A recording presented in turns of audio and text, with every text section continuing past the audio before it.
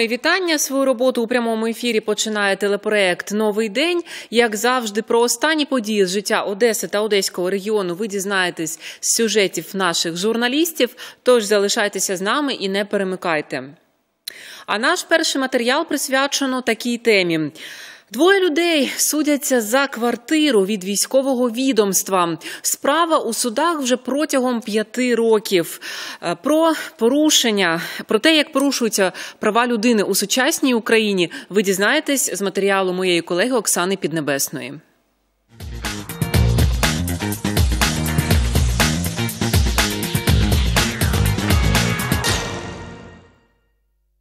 П'ятий рік поспіль триває судова тяганина в Овідіополі. Безліч судів, перевірок, експертиз навколо трикімнатної квартири у селищі Великодолинському. Ордери на вселення від військового відомства, яке розпоряджається житлом, відразу у двох громадян. Юрій Теплінський вважає себе потерпілим. Жив е, чоловік, якого не було, нікого не було, вів бродячий образ житті. Е, От, е, коли він помер, воспользувались моментом, прописалися другі люди, сторонні люди, які ну, не мали відношення ні до армії, ні до цієї квартири. За два роки приватизували цю квартиру. От. Коли я вселився, на момент вона була вже приватизована. Потім порушили кримінальну справу. Разом з цим позов цивільний військового прокурора про анулювання цієї приватизації. От і дана кримінальна справа, яка тягнеться вже п'ятий рік. Інша сторона Анатолій Пожар каже, отримав квартиру у спадок від колишньої дружини. Та її приватизувала, отримавши ордер на вселення, а згодом на законних підставах прописала і його. получила э, документы, вот, и в одиннадцатом году она умерла. Э, После смерти я обратился по ее завещанию к э, нотариусу. Нотариус мне э, предложил сдать право собственности на регистрацию, э, зарегистрировано право с- собственности. И э, в это время э, гражданин Телинский взломал двери, вселился, вывез мое имущество с квартиры э, и начал э, значит, э, писать заявление, что он пострадавший, вот, и э, ему нанесен моральный вред и материальный. Вот, и обратился с заявлением в прокуратуру Авидиополя. Прокуратура проти пана Анатолія порушила карну справу за статтею 190, звинувативши в шахрайстві. Тим часом суддя Овідьопольського суду заочно виписала його з квартири. Тож Анатолій Васильович тепер завис у повітрі. За п'ять років справа побувала вже на апеляції. Її розглядав вищий спеціалізований суд. Тепер знову повернули на розгляд в Овідіопольський. А тим часом Анатолія Пожара таки звинуватили у підробці документа, який дістався йому від дружини. Чоловік обурюється, каже, намагався вступити у право власності на житло після смерті дружини, а його зробили винним у тому, чого не робив. Судья э, Ганзей обвинил меня, назначив мне наказание 5 лет, вот, затем переквалифицировал и э, условно 3 года вот, за то, что якобы у меня поддельные документы. Вот. Значит, э, мы делали заявление в воинскую часть, э, э, ходатайство, чтобы предоставили регистрационные документы, где они изготавливали печати. Вот. э, Они ответили, что это секретность, вот, и не предоставили. Зі свідчень військових печатка, якою завірювалися документи на право власності, давно загублена. Пан Анатолій звертався до військової частини, але так і не отримав відповідей стосовно того, де була виготовлена нова печатка через тире 2 яким чином була загублена стара, чи існує акт її списання, тому вважає звинувачення у підробці документів стосовно себе незаконним. До речі, Верховний суд України відмінив рішення місцевого суду про визнання пана Пожара винним, але місцева прокуратура ще двічі поновлювала справу. За п'ять років у ній змінилося сім прокурорів, а пан Анатолій отримав інсульт. Між тим, чоловік, що зараз мешкає у спірному житлі, каже, вселився у квартиру законно за ордером військової частини, проживає там з сім'єю разом з двома дітьми. Ордер було все е, на той момент. Ну від військової частини ніяких е, заяв про приватизацію нічого не надходило. Коли я туди заселився, я знайшов чеки на квитанції на світ, кинуті, ніхто їх не оплачував. Е, Ну, це мене викликало подив, тому що до цього там жив не цей чоловік на цю фамілію. Я поїхав в РЕС у Відіопольський. Там мені показали, що договор заключений з, власниками. Поїхав в БТІ, е, сказали, що приватизовано. Ну от командир звернувся в БТІ, витрубали справу, побачили, що там всі підроблені документи, підписи, печаті. От. І порушили кримінальну справу. Крім того, Овідьопольський суд розглядає й нанесення матеріальних збитків квартирі. Потерпілий стверджує, що коли в'їхав, помешкання було непридатне для життя, тому мусив відновлювати все власним коштом. Його позов підтримує й прокуратура. закуплялося за власні кошти е, обладнання. Там безпосередньо всі чеки, починаючи, е, наскільки я ознайомлювалася з проведення каналізаційних робіт. Між тим, потерпілим себе вважає інша сторона. Пан Анатолій стверджує, то його майно хтось незаконно вивіз, щоб вселитися. Он предоставил фотографии, снятые до кирпича оббитые стены, вот, вырезанные там радиаторы и все остальное.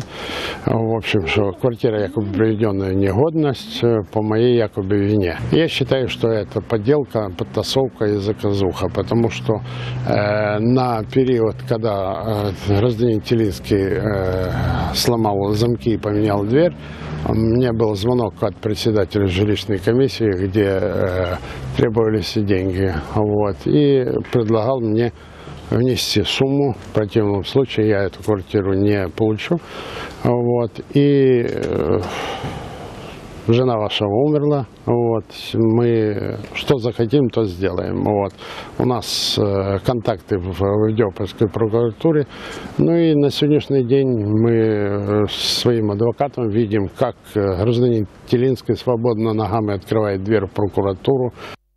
Поки судовий розгляд триває, вдалося розшукати документи, що на той час військова частина вже не була балансоутримувачем спірної квартири, тож не мала права видавати ордер новому власнику. Правозахисник Олег Сендик вважає, що військове відомство вирішило відвести від себе будь-які підозри і не визнає видання ордерів одразу двом власникам. А щоб перемогти опонента, заручилося підтримкою прокуратури. А сегодня это уже, грубо говоря, это уже не коррупция, а прокуратура, прокуратура пытается защитить честь Мундера. То есть они уже не хотят признать свою вину, то, что их э, сотрудники, бывшие, нынешние, э, допустили э, коррупционные схемы. Тем более есть э, решение Верховного суда об отмене э, его уголовного дела. Но сегодня для того, чтобы не упасть, скажем так, лицом в грязь, работники прокуратуры продолжают отстаивать свой интерес и ищут каких-то выходов, чтобы все-таки хоть как-то сделать его виновным. Э, из-за чего? Из-за того, что если будет э, малейшая его вина, значит все их действия были до сих пор правильные, и их э, работники никаким, никоим образом не были замешаны в грязных коррупционных схемах. Історія в Овідіополі про те, як можна втрапити в халепу і навіть отримати термін ув'язнення лише за те, що оформлюєш спадок від покійного родича. Пан Анатолій каже, готовий відмовитись від спірного житла і відступити, аби тільки у літньому віці мати спокій. Ми слідкуємо за перебігом справи і готові вислухати позицію прокуратури Одеської області та військового відомства.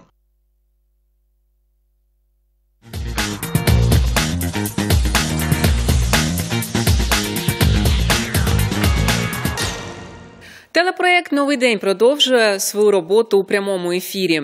Не обійшлося без скандалу та навіть бійки у ході позачергової сесії Крижанівської сільської ради. Найгостріше питання порядку денного саме щодо виділення земельних ділянок учасникам АТО та їхнім родинам викликало найбільше обурення громадських активістів та представників самооборони. Подробиці далі у нашому сюжеті.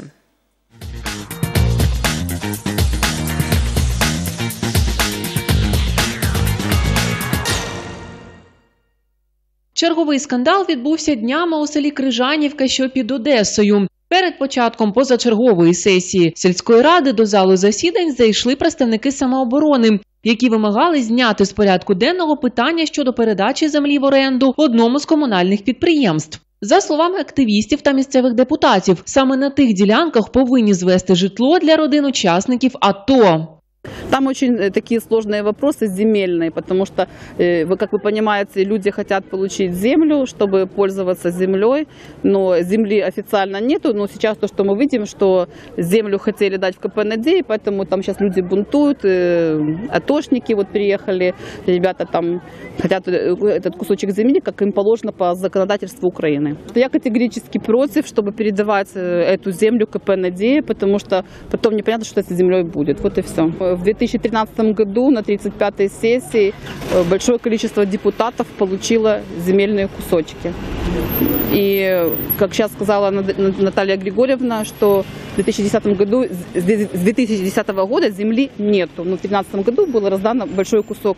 Вимоги громадських активістів з Крижанівки та представників самооборони єдині виділити землю для учасників АТО. Однак голова сільської ради Наталія Крупиця заявила, що цих земельних ділянок у Крижанівці просто немає. У 2013 році був утверджений генеральний план. И, и те участки земли, которые остались, действительно были выделены. В 2013 году у нас была мирная страна, а точников у нас не было. У нас землю получила участница войны, многодетные, те, которые живут в Балке. Нет земли, которой было бы какое-то целевое назначение, другое. У нас осталась земля на обочинах, где проходят коммуникации, у нас осталась земля, которая не выделяется. Засідання врешті-решт почалося, але постійно перервалося через бійки. За словами активіста Юрія Демідюка, коли на сесію збирається така кількість людей, зазвичай відкривають приміщення клубу, аби всі бажаючі змогли розміститись та взяти участь у засіданні. Але цього разу так не зробили. Я пришел специально сюда для того, чтобы отследить ситуацию, которая происходит. Мне стало известно, что готовится провокация. Э, И э, учитывая то, что сторонники председателя сельсовета первыми э, заняли это помещение, э, можно сделать вывод о том, что искусственно создана такая ситуация, невыносимая для работы сессии сельского совета. Цель рассмотреть последний пункт в повестке дня – это земельные все вопросы и выделение земли, то создается такая искусственно невыносимая ситуация, чтобы меньше было свидетелей у этого деребана.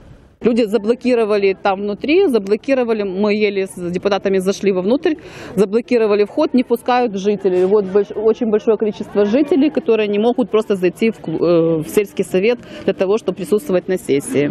Місцева мешканка Анжеліка Швець теж не потрапила до зали засідань. Жінка каже, що вона вже багато років намагається донести до місцевої влади необхідність проведення берегоукріплювальних робіт. У меня дом на обрыве. За несколько последних лет пришел э, к власти такой председатель сельского совета с такой командой, которая их не волнует вообще нужды нашего населения и наши интересы. Значит, друзья, сватья, кумовья, братья, любовники, значит, люди, пришедшие к власти, все дружат, все очень уважают друг друга, единогласно принимаются все решения. Крыжановка уничтожена, э, бюджет разграблен.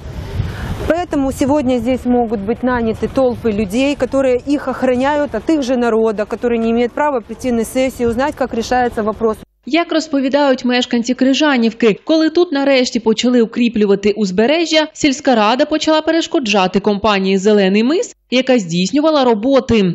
За последние 10 лет э, там сократилось где-то на э, метров, наверное, 50. И уже в 2007 году уже просто не было не то, чтобы там пляжа, возможности по сухому пройти по берегу. И когда началось укрепление берега инвестором, это э, Зеленый мыс, это компания Югспецстрой, э, с сельского совета начались там возникать какие-то проверки, там остановки. То есть э, дошли до того, что остановилась э, любая работа. Та вот застройка, которая здесь э, ведется, на этой стройке присутствовали прошлые выходные общественники. Я тоже был на этой встрече, и, которые сказали, что такой вид берегоукрепления путем строительства многоэтажки и одновременно берегоукрепительного сооружения два в одном позволительно. Э, Также, также мы видим такое берегоукрепительное сооружение путем расширения э, м, берега. Вот пытаются таким образом намыть берег для того, чтобы э, вода не, не подмывала склоны. За словами громадського активіста Тодора Пановського, депутати Крижанівської сільської ради не дають можливість реалізовувати привабливі інвестиційні проекти. До нас е, звернувся е, ще літом е, підприємець е, Зеленого мису.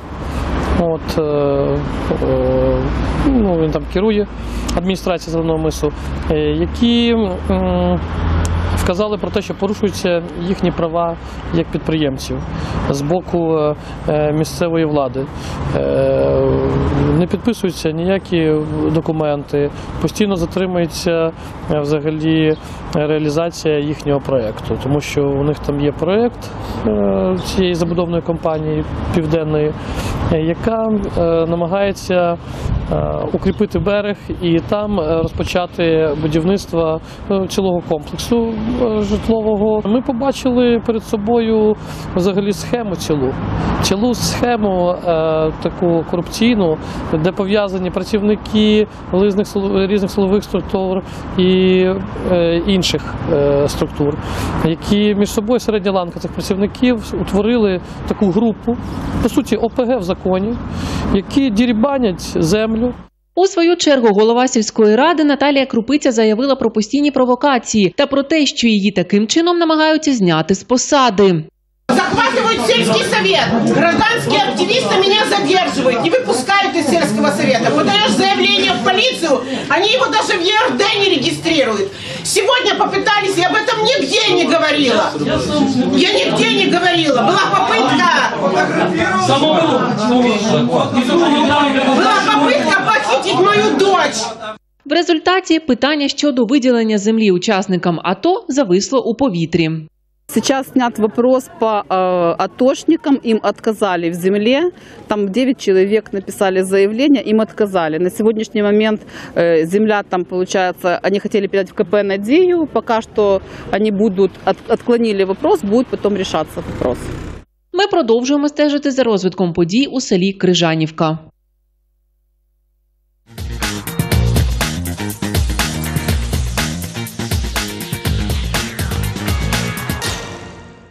Програма Новий день у прямому ефірі та наш наступний сюжет присвячено долі відомого спортсмена, найсильнішої людини України Миколи Пасічника. Тож увага на екрани.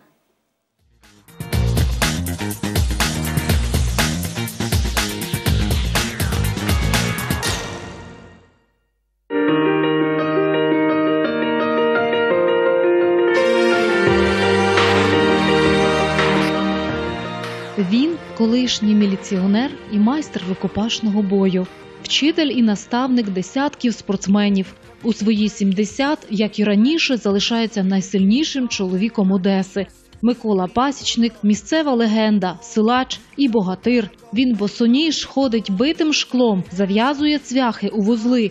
Сьогодні міцний тілом і духом правоохоронець-пенсіонер з імпозантними вусами свій досвід передає підростаючому поколінню і показує майстер-класи. Бегом! Бегом! Успокоила, это хорошо. Значит, жива. Отдыхайте.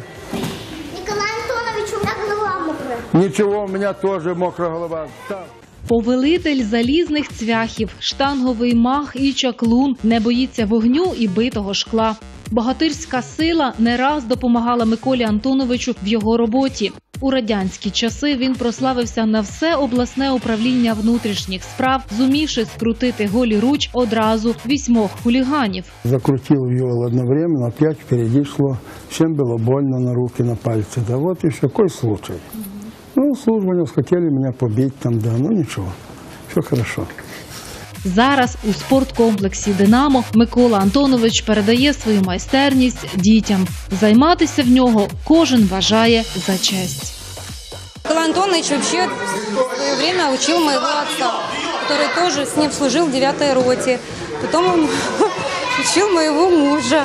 В общем, вот так как-то и получилось, что потом я родила своего малыша, и спустя 4 года мы пришли к Николаю Антоновичу, чтобы он нас тоже стал нам, чтобы мы стали такими мужчинами, как наш отец и мой муж, и сам Николай Антонович. Это есть большим примером для нас. Он очень замечательный человек сам по себе, он как отец здесь. Он довольно хороший наставник. Преподаватель замечательный. И столько любви, столько заботы, вот, ну, именно души вкладывает в детей, и дети к нему тянутся, очень тянутся. Сильный духом и физически очень сильный. Ну, как не зря богатырем называют, как бы. Вот. И человек интересный, можно о чем-то пообщаться, у него там много историй, которые, как он задерживал там преступников и тому подобное. Ну, грубо говоря, советский Джеймс Бонд какой-то.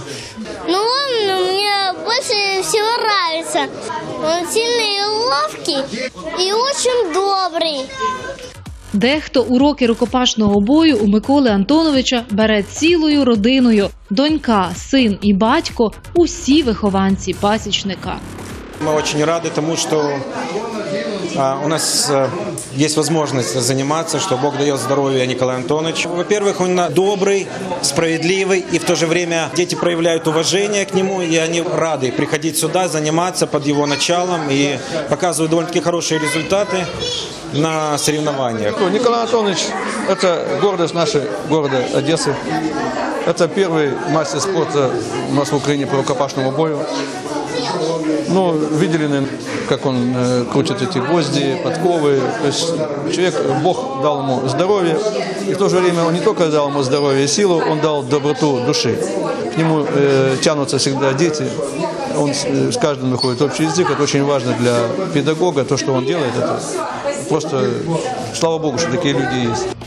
Сам силач каже, що зобов'язаний своїми здібностями важкому дитинству. Народився він в селі неподалік від Кам'янець-Подільського у багатодітній родині. З дев'яти років замість безтурботних ігор і читання книг працював у полі. А після восьмого класу вирушив вчитися на тракториста. Саме фізична праця, переконаний пасічник, розвинула в ньому богатирську силу. На дозвіллі він тягав 115-кілограмову штангу і засмучувався, що в родини немає грошей, щоб докупити іще млинців. Потім почав брати участь у різних змаганнях з важкої атлетики, причому таємно від батьків, бо вони не схвалювали його захоплень. Сила, как говорится, это все Божие, от Бога. Да, это хорошие гены. У меня отец был сильный, здоровый, разведчик был, да. Прожил длинную жизнь, да. Мама трудились все время в колхозе, и нас заставляли, чтобы мы работали, да. Ну, конечно, есть сила природная, есть, которую можно во время физических упражнений можно накачать ее, да. Но это природное. Я не смотрю, чтобы у меня там фигура была такая раздутая. Все, я тружусь, я работаю. Я прослужил больше 30 лет в милиции, когда мне там было заниматься так, чтобы сильно, если службу надо было нести. Это все Боже, я считаю. Пізніше хлопця призвали до війська тягти лямку в одеський конвойний полк. Зараз це внутрішні війська. Там незвичайні здібності Миколи й розгледів майстер Роберт Бабаянс і запросив його у свою секцію. Мой тренер ушел в иной мир уже, это заслуженный тренер Бабаянс Роберт Сабелович. Вот я, когда стоял солдатом у знамени части, он меня увидел, пригласил и очень много мне помог, подсказал. Я и закончил вечернюю школу, когда служил в армии. И всего э, он со мной побеседовал, я поступил в пединститут Одесский, Одесский пединститут имени Ушинскую, закончил заочно. Службу нес в милиции, стал мастером спорта. Кажуть, обдарована людина талановита у всьому. Він саме такий. Майор міліції у відставці продовжує трудитись тренером, навчаючи вже онуків своїх перших учнів. Хто за п'ятак, а хто за так, каже пасічник, бо відкритий кожному. Дети такие разные, да. Э, ну, играются, балуются. Ну, конечно, наказывать надо, что же это. Если не будешь наказывать, они это очень хорошо понимают сейчас, да. Надо наказывать. Здесь рычагов много, здесь можно заставить и отжиматься, и приседания, и гусиным шагом пройтись там, или подтянуться, все. Ну, а трудиться надо, надо работать, а как же? Многие родители не могут заниматься воспитанием, потому что такое время сложное у нас. Многие работают где-то на базарах, где-то все так вот. А дети, многие предоставлены сами себе, да. Так я их спасаю, и слава Богу, что они идут в зал, а не курят в подворотнях. И этим людям спасибо, которые занимаются подростками, которые, которые занимаются детьми в наше время. За чверть століття Микола Антонович Пасічник навчив рукопашному бою понад 40 тисяч правоохоронців і бійців внутрішніх військ. Це майже чотири дивізії. Ну, Это Снежана Шевчук, да. Хорошая девочка, играет в волейбол, да, ходила, рукопашница хорошая была, но э, играет за институт, да, и побеждает хорошо, да. Она же, по-моему, на последнем курсе института. А это Назар Кулешов, очень сильный мальчик, да. Многократный чемпион Украины по школьникам города, области, да. А в повсякденному житті Микола Пасічник живе доволі скромно у невеликому флігелі в центрі міста, в якому після кожного дощу протікає дах. А ще одеський богатир вірить у силу Всевишнього і вдома має цілу колекцію образів. беседа с Богом. Конечно, я утром читаю, я читаю за учеников своих, здесь поминальник, вот молитвослов, да. Я читаю о здравии, читаю о покоении, да, читаю Евангелие и многие другие читаю, Библию читаю. Все, ну, мне просто интересно это. Я никому не навязываю, это такое дело, да. За своє життя Микола Антонович назбирав пів тисячі грамот і нагород. Про окремі з них спогади особливі. Это э, милицейские, ну как милицейские, это за содействие орга- органам милиции. Это транспортная милиция, это у- участкового, это тоже транспортная милиция. Это 40 лет полка, а это за мужество, это ассоциация полицейская. А это тоже, ну там написано, это с колонии. А это за службу. Это за службу вот это. Завжди бадьорий і підтягнутий, він пишається своїми вусами, ніби зійшовши зі старовинної світлини до революційних часів. Были черненькие, стали беленькие.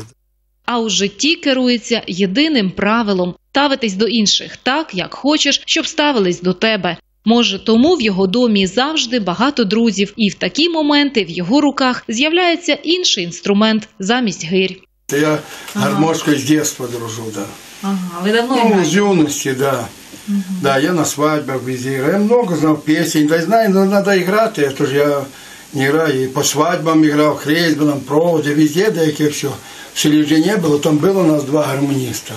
Незважаючи на насичений графік, пасічник знаходить час і на творчість, пише вірші, малює пейзажі, віртуозно грає на гармошці. Йти на пенсію силач не збирається, бо каже, життя воїна полягає у безкінечному русі.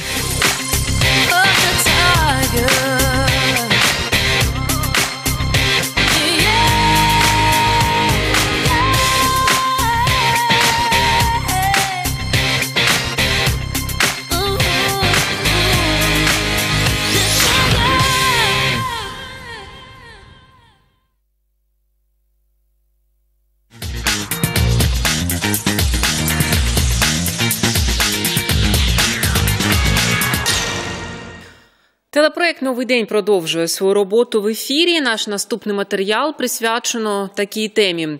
Віряни впевнені, що в Одеській області сьогодні потрібно звертати більше уваги на проблеми церкви Київського патріархату та, врешті-решт, створити єдину помісну церкву із центром у Києві.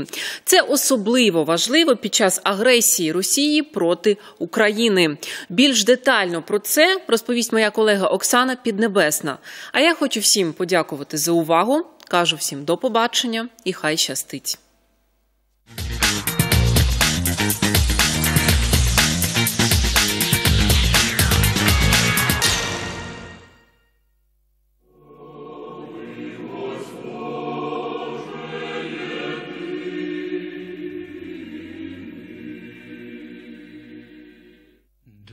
Християнський храм, скарбниця благодаті й училище благочестя. Одна з одеських святинь, храм Георгія Побідоносця по вулиці Воробйова, щодня кличе на молитву своїх вірян. У свято й будні тут минають богослужіння, лине молитва українською мовою і огортає кожного, хто приніс свої радощі й печалі до Всевишнього. Цей храм дуже багато настраждався, мав багато таких неприємних за собою подій, адже він неодноразово захоплювався. От. Але во славу Божу сьогодні молитвами нашими, молитвами наших віруючих, сьогодні храм є у лоні Київського патріархату. Сьогодні на даний час за 20 років уже вся документація на храм е, вироблена. Е, Сьогодні е, ми плануємо, так як е, в проєкті цього храму є два престоли. Цей престол освячений святого великомученика Георгія Побідоносця, а нижній храм е, святого мученика Віталія. У нас сьогодні в планах вже йдуть е, такі потужні ремонтні роботи. Сама будівля храму Георгія Побідоносця була зведена в Одесі ще 1880 року. Від початку в ній була церква, потім працювала недільна школа. У сталінську епоху в приміщенні діяла школа, різні гуртки для дітей, але найбільшого руйнування храм зазнав за радянських часів. Без дверей, вікон і навіть підлоги громада Київського патріархату отримала його аж 1999-го. Я прийшла за настоятелем, за отцем Валентином. Тут він ставив цю церкву, при ньому все, все, все відроджувалося, це строїлося, будувалося все при ньому. А потім вже залишилось. Багато людей з того часу ходить. У мене таке відчуття, що я сюди приходжу додому. Тут мій дім. Якась така домашня церква. Багато важких моментів і навіть недружні захоплення довелося пережити храму Георгія Побідоносця, але в останні роки він потужно відновлюється і приймає активну участь у повсякденному житті українців. Сьогодні, на жаль, ще не скінчилася війна в Україні, і я би е, хотів, щоб наші волонтери, яким також е, не вистачає приміщень, щоб е, ми збирали ту гуманітарну допомо- допомогу для тих вояків, які на сході нашої батьківщини. На початку, коли почалася війна, е, звідси ми відправляли гуманітарну допомогу, але пізніше, коли в Одесі почалися теракти, ми е, розпорошили цю е, гуманітарну допомогу, і е, цим почали займатися волонтери міста Одеси, з якими ми дуже тісно спрацюємо. І вони на наш клич, і вони готові і навіть тут. Е, Можливо, в мене от в планах таке, щоб якусь пару е, швейних станків покласти, щоб от зараз для зони АТО потрібні теплі речі, якісь шкарпетки, якісь е, рукавички шити. От саме необхідне, перша необхідність для, для наших бійців, для наших захисників батьківщини. Ліворуч від храму психіатрична лікарня, наркологічний центр, в якому лікують від хвороб та залежностей. То досить символічно, бо настоятель храму отець Михайло несе туди слово Боже, опікуючись такими людьми, відвідуючи хворих на сусідній території і приймаючи до сповіді. Ми можемо служити вільно тут службу Божу і закликаємо всім тим, кому не байдужа наша церква. Закликаю всіх тих, хто жиє мікрорайон Слободка до нашого храму. Е, Він постійно відкритий, постійно йде молитва. Я от неодноразово заходжу в цей храм, завжди отця Михайла застаю за молитвою. Українці щирі не будуть обминати свій храм. Храм насамперед є для спасіння душі. І не потрібно дивитися, що він бідний. Ми також бідні. От. Але завдяки нашим зусиллям, завдяки нашій любові, нашому єднанню, ми у Бога дуже багаті. Василь Іванович родом з Західної України, з Тернопільщини. Каже, 15 років ходить саме до цього храму. Від знайомих знали, що тут е, священник дуже гарно у проповідь говорить і так далі. І ми прийшли у 2001 році, і дійсно так священник був дуже гарно говорив проповідь, дуже душевно. Захотілося тут і залишитися назавжди. І так з 2001 року і по сьогоднішній день з переривами, з переривами ми сюди і ходимо, знаходимо в цьому храму теж так душевний спокій. теж приходиш як додому, як, як після цього відчуваєш якесь полегшення, тому що надивишся тих всяких телеканалів наших, всяких е, війн, е, грабунків, що грабують людей, і наші, і другі. А тут прийдеш, почуєш е, від священника гарну проповідь. До речі, зараз дуже гарний священик тут е, теж з Західної України приїхав. Отець Михайло, душевний чоловік, дуже гарну проповідь говорить, е, заохочує всіх людей сюди до храму. Ми з чоловіком тут брали шлюб, ми вінчалися тут саме цей день, 21 ем, вересня, на, на, на це свято, нині 15 років. Ем, Тут завжди було якось по-домашньому, душевно. Тут ніхто ніколи е, нікого ні в чому не принижував, ем, нічого не заставляв щось робити так чи не так. Тут е, дійсно була як домашня родина. Ми навіть нові, е, на Новий рік тут збиралися. Спочатку була служба Божа, а потім після того ставили стіл і сідали всі як по-домашньому за стіл. Це таки дійсно було. Було декілька років. Тут е, якось відпочиваєш душою. Знаходиш для себе якесь е, відчуття душевного спокою. Нам зараз всім того не вистачає. І я бажаю, щоб якнайбільше українців і взагалі одеситів приходили сюди до цього храму. Дехто з вірян переконаний, у цьому святому місці відбуваються чудодійні речі. Так на освячення храму раптом замироточила ікона Божої Матері. Когда в 2003 году весной, в мае, было освящение, это, освящение этого верхнего предела храма, потому что до этого у нас было, э, храм был на первом этаже, то вот эта икона Почаевской Божьей Матери, мы увидели, как у нее осталась капелька э, слезы, с глаза, которая с правого глаза выходила, и у Спасителя. Что характерно было, у Божьей Матери она была багряно-бордового цвета, у Спасителя она была прозрачно, чисто белая. И когда уже прошло после освячения где-то, наверное, часа два-три, потому что служба была очень долгая, то у Богородицы она застыла на подбородке, и у Спасителя также. Она очень долго так держалась, эта слеза. Мы видели, что это знак какой-то предвещающий что-то, наверное, не очень хорошего. Видно, Божья Матерь, она видела те события, которые потом впоследствии здесь происходили. Но мне бы очень хотелось, чтобы этот храм возродился, чтобы люди сюда снова стали приходить, потому что тогда было очень много людей. Між тим, храм Георгія Побідоносця не єдина церква Київського патріархату. За останні роки в Одеській області постало 35 храмів, шість з яких в самій Одесі. Про існування єдиної помісної української церкви подекуди точаться суперечки. Так, віряни й патріотичні організації нещодавно відвоювали земельну ділянку під будівництво українського храму в Овідіополі. Тамтешня місцева влада довго не бажала чути людей. Між тим, вже 24 вересня встановлено хрест і наріжний камінь на місці майбутнього храму. Господь веде ще краще. Ми добилися землі, і підходить одна людина, небагата така людина, але вона мала частину землі і також надала нам другу земельну ділянку у Відіополі. Так що ми отримали дві земельних ділянки. Буквально тиждень тому назад була сесія міської ради Білгород-Дністровська. От, ну, це я думаю, що вся Одеська область знає, е, тому що не хотіли надати нічого, надати, але з великими потугами видавали на окраїні міста. Ну, там гарна земельна ділянка, пристойна, 20 соток землі, такий жилий масив є, і, і промзона є, ну гарна земельна ділянка.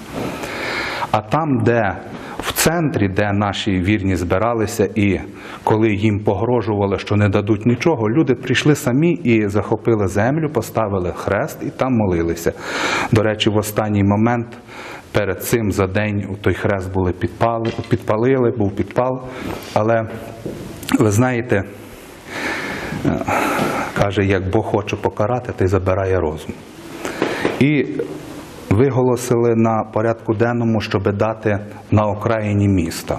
Не проголосували взагалі. Але потім, коли люди збудоражилися, дуже було багато людей, українців таких, е, і наших е, захисників, і Азов, і ті, які прийшли е, з лінії вогню. От. вони винесли на порядок денний ту землю, що в центрі міста, і що на окраїні. Ну, знаєте, Бог забрав розум і взяли і проголосували за дві ділянки. Не хотіли не дати нічого, а вийшло так, що е, сесія надала дві земельні ділянки. Так що ми сьогодні в Білгородністровську маємо і в центрі міста земельну ділянку, і на окраїні. Єпископ Одеський і Балтський Марк родом з Буковини. Каже, там вирує духовне життя. Пригадує, як у перші роки приїхав служити до Одеси і уперше почув обурення в свій бік за вишиванку. Пригадую, один такий зо мною стався випадок. Е, е, Одів я вишиванку і вийшов до мерії. Це був 93-й рік. І так на мене якось дивилися, якось незручно мені було.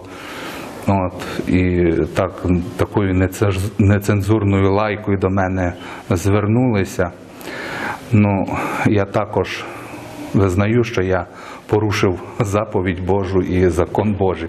Я також звернувся до них такою нецензурщиною. По сьогодні мене ніхто не чіпає. Я йду в вишиванці, вишиванці українській. І знаєте, якось як то як Господь обрізав те. Мені приємно, що Одеса, Одеса. Я замітив, що тоді, коли почався Майдан в Києві, коли почали вбивати людей, коли ми вийшли на панахиду о 10-й годині ночі, от, і молилися, і одесити плакали. плакали. От, е, я просив одеситів, щоб вони е, не ширили ненависті поміж собою. Другий такий етап був, коли е, уже 2 травня, коли в Одесі почалося також бійня, де багато загинуло людей. Також Одеса показала е, своє таке підняття українське, що вона так не здасться, і вона є частиною України, і ніхто одеситів не роз'єднає. Це дуже радує. Ну, звичайно, в наших храмах служиться завжди українською мовою, і люди свідомі, які люблять Україну, люблять українську церкву, вони їдуть, з іншого кінця міста, щоб почути богослужіння, почути проповіді українською мовою. Сьогодні багато хто дивується, чому немає єдності серед православних на Україні і чому у нас немає своєї незалежної церкви. У час розгорнутої агресії Росії проти України, анексії Криму, війни на Донбасі, питання української церкви із центром в Україні, а не в Московії, досить гостре. Не секрет, що патріарха Філарета, за роки предстоятельства якого значно виросла українська церква, служителі московського патріархату не визнають. Але згадаймо слова із священнописання. Хто каже Я люблю Бога, а брата свого ненавидить, той говорить неправду. Бо той, хто не любить брата свого, якого бачить, як може любити Бога, якого не бачить? Ми е, ніколи не стаємо на перепоні тим людям, хто ісповідує іслам чи юдаїзм, чи то є Римо-католики, чи то є греко-католики, чи то наші брати Московського патріархату. Е, Це єдина є церква. От, е, якщо подивитися в глибину душі, то нас роз'єднав диявол. Диявол в силі роз'єднувати, але церква все рівно буде єдина. Єдина і Україні сьогодні конче потрібна єдина помісна українська церква.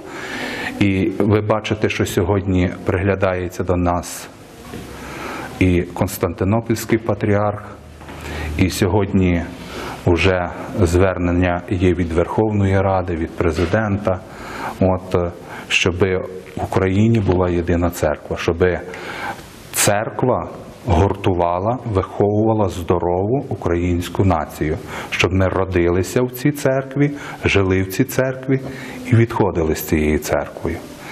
А церква, яка сьогодні в Україні є не наша, вона ніяк не може, не може представляти інтереси України.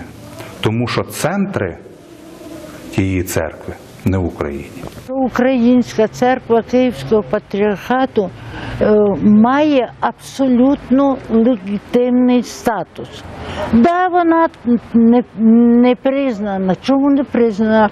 Тому що ні наш народ, ні ми всі, ні росіяни, ні Константинополь, ні громадськість світова не знає свої історії України, не знає історії української церкви, не знає історії міжцерковних відносин між українською церквою і московською, і навіть між самою Україною і Моско- і Московією.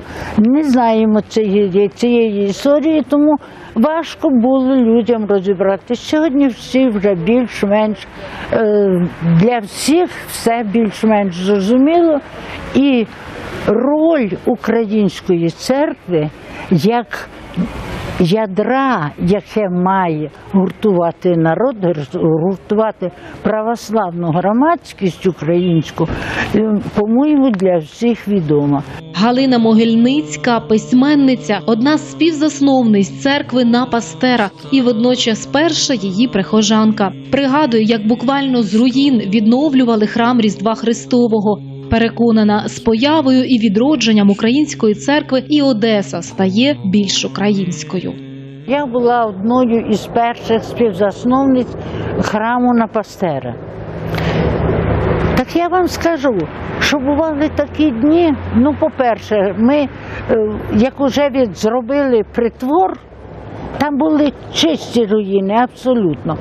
Е, Ми, як зробили притвор, перетворили його в церкву, бо там великий храм не можна було, там було спресовано за десятиліття оте все, що впало зверху, і з, бляхою, і з перекриттям, і з всім. То про це ми ще і думати не могли. А ми зробили церкву там, де в нас зараз притвор. І було так, що я зібрала кілька там бабусь, і ми зробили нібито хор. Е, Я без музичної освіти. Деякі. І я кажу, що було так, що часом приходиш на службу, особливо в суботу ввечері, і ні одної душі немає. Тільки я і отець Геннадій тоді був. Отець Геннадій питає мене, то що, пані Галино, будемо служити чи ні? Нікого немає і вже ніхто не прийде. Я подумаю, подумала та й кажу, отець Геннадій, а ми для кого служимо? Тільки людям чи Богові? І так Тавель подивився з таким якимось переляком, каже, Богові, звичайно, служимо в першу чергу. Ну, кажу, то Бог же. То Боже до нас сюди прийшов, то давайте будемо служити. І ми служили службу. Це не раз було. Він в алтарі і я на кліросі. І все, більше нікого не було. А тоді потрошки, потрошки, а свічечка горить, да? а людина біжить по церкву, двері відкриті, бачить, блимає свічечка. І вона заходить перше з цікавості, а що тут? А тоді вже їй якось, знаєте, душа бажає насолодитися тим чи співом, чи звуком молитви, самим звуком молитви. І вона приходить ще раз, а тоді з нею ще хтось. І так збільшується, збільшується з нічого. Наша церква в Одесі постала з нічого, з руїн і з, пустки. А тепер, слава тобі, Господи, вона живе. У храмі Георгія Побідоносця ще задумано чимало. Ліва половина будівлі ще відновлюється. Там буде поховальне бюро. Планується відродити й нижній храм, де священик зможе читати псалтир під час поховання. Хочуть відродити і недільну школу, трапезну, просфорню і навіть встановити міні-пекарню, аби випікати хліб для нужденних. Мені хочеться, щоб церква була багатою не тільки духом, а щоб вона була багатою і прихожанами, щоб вона була багатою людьми. Адже спільна молитва, один, коли молиться, Це багато значить. А коли гурт молиться, коли багато людей молиться, це особлива благодать, це особливе піднесення духу. І тому мені хочеться, нам всім хочеться, щоб у нас розвивалися всі наші храми. А те, що люди до нас прийдуть, ми впевнені, тому що правда на нашому боці, тому, що ми нікого не знищували. Ми в Одесі не відняли ні в кого, ні одного єдиного храму. Ми все з руїн піднімали, все знищене ми робили отаким, е, щоб можна було зайти було і щоб Божа благодать на, на цьому приміщенні спочивала. Розумієте? Ми ні в кого нічого не взяли. Ми ні, ні, нікого не ущемили. Хай буде російська церква, ми не проти. Хай буде грузинська церква, хай буде польський костюл, хай будуть вірменські церкви. Ніхто тому не заважає. Але, але не за нас рахунок, не за рахунок нашого приниження, не за рахунок отих е, інсинуацій про нашу церкву, про нашого предстоятеля. А Моліться Богові, служіть Богові і служіть українському суспільству. Тут переконані, у важкі часи Україна змушує гуртуватися, а не роз'єднуватись. Одещина поступово долучається до розвитку української помісної церкви, де лине українська молитва, і саме українською мовою здійснюються церковні таїнства та обряди.